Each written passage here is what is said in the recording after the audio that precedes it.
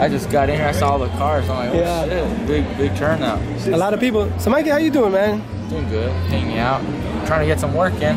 I got, it's already one. I gotta get some work in right now in a little bit because I gotta be at uh, Moreno Valley Boys and Girls Club at 4, 4.30 ish. And then, Look who's here. then go. Asked me if he wants the box today. He said not today. No, not today? Not today. Do, do you feel your celebrity status growing from week to week, from month to month? I mean, going back six months or a year? Is it, Uh, it's uh, it's funny because even though I wasn't fighting, I'd still get a lot of you know fans recognizing me and saying hi. But right now, because I am fighting, you do get a little more now. But uh, nothing crazy. not yet, not yet, Mikey, not yet. You know, it's, it's cool, it's nice. I appreciate it, but nothing crazy to where it's you know taking time away or, or, or getting in the way of anything. No. I just interviewed Richard Schaefer and asked him who's pound for pound king. Do you know what he said? Mikey Garcia. He said he compared you a lot to Mayweather in a lot of aspects.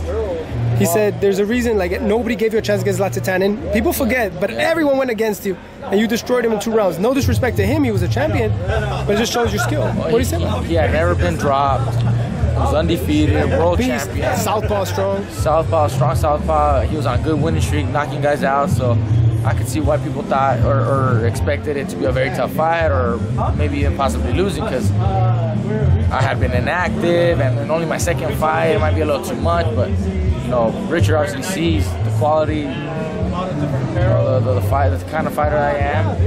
I, I know it. My brother, my dad know it. So we believe in myself. Right now, we actually just sold You know, people that can really appreciate and see it, they know we have a lot, a lot to offer.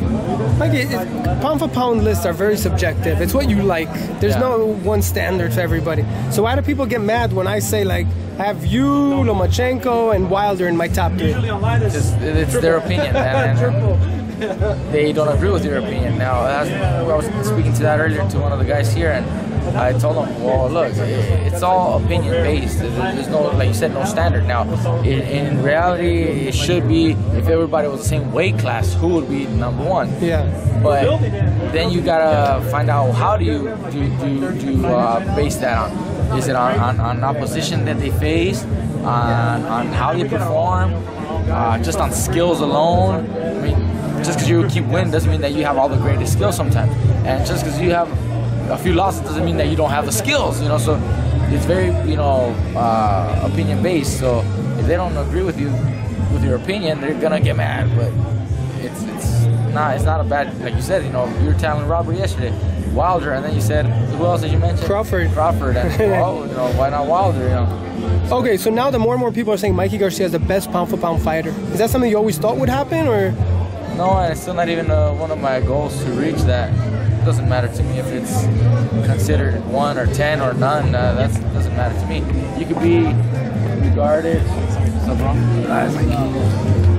I'm not seeing you, man. I'm leaving, man. I said hi to your dad and all that, man. Glad to see you guys. When's your next fight? Uh, maybe just light.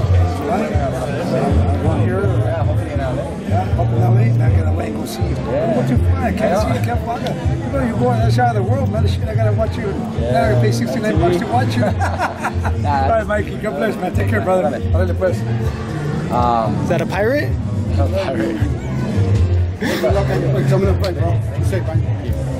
Going back to Um, the ship. So I told him, look, you, you could be considered, or the media or the TV network could say that you're number one pound for pound. But if you walk down the street and nobody recognizes you, what good does that do to you? That's true. That's what I said about Chocolatito and, and other fighters. Like they, they may be good fighters, but they have no So, recognition. it, was cool.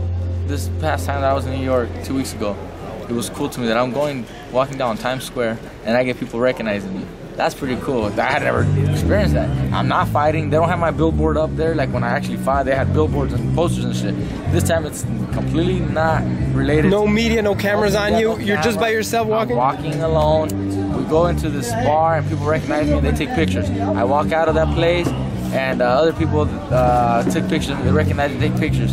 So it's that was pretty cool. I'm like, wow, that's pretty awesome. You know, uh, that made my night. So there you have it. Another great video for ES News. For ESNewsReporting.com, I'm Elie Seckbach reporting. And you can follow me on Twitter, at Seckbach, And you can follow me on Instagram, at Elie Seckbach.